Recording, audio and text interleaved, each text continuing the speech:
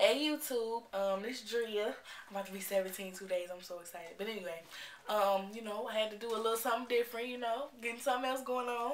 But um, yeah, I'm gonna sing this song called Epiphany by Chrisette Michele. So I know it's old, but I just wanna sing it. So here you go.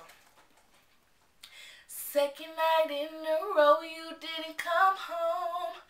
I'm watching my phone, waiting for it to ring.